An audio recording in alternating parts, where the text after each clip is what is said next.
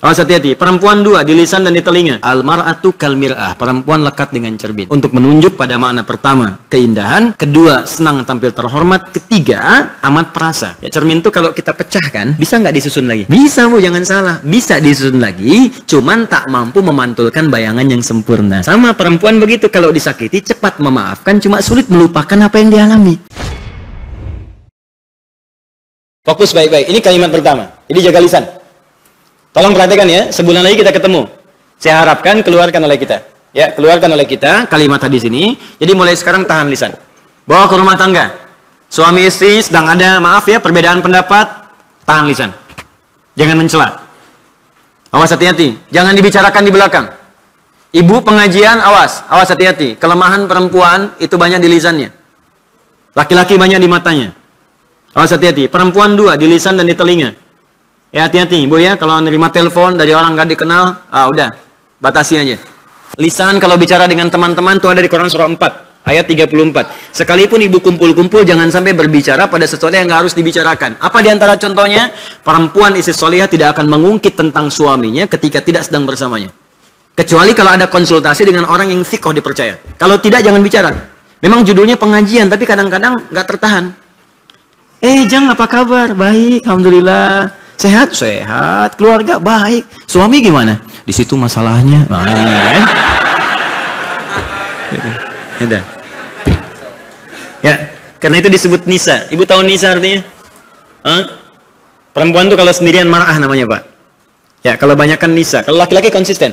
Sendirian rajul, banyakkan rijal. Tinggal merubah cara baca, tapi akarnya sama. Rajulun tuh rajul, tegak. Kuat.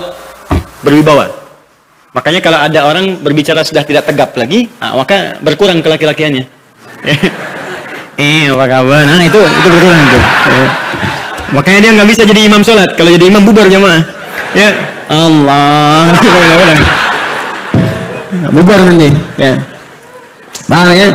Tapi perempuan tidak. Perempuan kalau sendirian marah. Banyakan nisa. Apa itu marah? Dari kata muru'ah. Ya punya tiga arti. Sesuatu yang ingin tampil indah, marah. Kayak kalau ibu-ibu senang dengan keindahan normal, wajar bu. Gak apa-apa gitu kan. E, apa bangun tidur, cek lagi semua mesti rapi. Mau ke pengajian, make up dulu, dandan yang rapi. Kadang-kadang apa namanya seragaman. Kadang minta pendapat ke suami, nggak apa-apa pak. Dijawab aja respon. Papa mau mau ngaji nih, kapan mas siang? Pak bagus mana ya pak, yang merah atau yang biru? Oh kayaknya biru deh mah, ah merah deh katanya. Ya, nanya tapi dapat jawaban sendiri pak. ya, kalau dipakai alhamdulillah begitu keluar kuning. Ya, nggak apa-apa. Turun cek lagi kan? Turun mobil kaca spion lihat lagi. Emang nggak apa-apa biasa. Dibuka di tas ada cermin nggak apa-apa.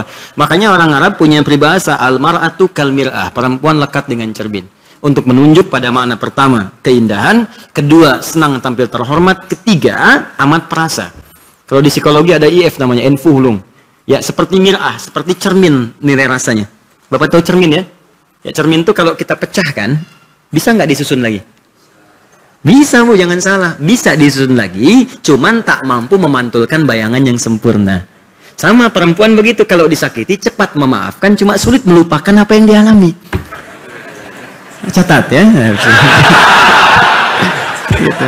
Makanya kalau punya persoalan sekarang, rekening listrik 15 tahun yang lalu, ada lagi. Ya. Dulu juga kan Bapak dulu, nah dulu juga, padahal kan persoalannya sekarang gitu. Eh? Tapi itu biasa, artinya normal.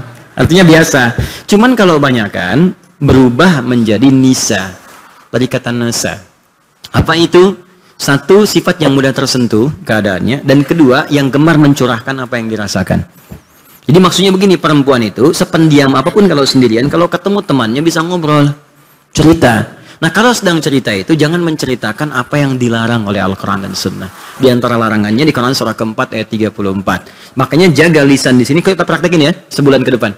Jaga tangan ya, hati-hati tangan. Puncaknya semua anggota tubuh kita. Kalau bisa begini, kalau bisa sepekan ini latihan dulu. Latihan lisan dulu lah sepekan. Di setiap ingin berkata yang kurang baik, tahan. Ingin bicarakan orang, tahan. Datang ke perkumpulan sedang bicarakan orang, pamit dulu sebentar. Ke mana sih? Sebentar, nanti saya balik lagi. Ya, dan jangan menyinggung mereka. Antum sih gibah sih, ngapain ada di sini buat? Ah, gak usah. Pelan-pelan. Atau langsung ganti topik, potong langsung. Begitu sedang bicarakan orang, wih ada kabar nih, masya Allah hadis Nabi gini gini gini, bagus nih pengajian ini, nggak apa-apa ah soleh kamu bukan saya masih gitu aja potong supaya jadi baik, baik, baik, baik. Jelas ya? Nah, nanti pekan berikutnya latihan lagi turun ke telinga, ya, terus ke mata sebelumnya, lihat mata, kan? Lihat TV, acara nggak bagus, latihan mata, palingkan channelnya pindahkan. Ya, nah, kalau anda sudah bisa memalingkan, itu tahap iman pertama. Kedua, dengan istighfar. Astagfirullah. Ini itu tahap iman paling tinggi, nomor dua. Ya, jadi kalau anti baru bisa berpaling, iman pertama. Bisa istighfar, iman tahap kedua, lebih tinggi. Nah, itu istighfar itu menggugurkan dosanya. Jadi begitu anda palingkan kan kadang nggak sengaja terlihat kan? Nah, begitu istighfar itu menggugurkannya, hilang seketika.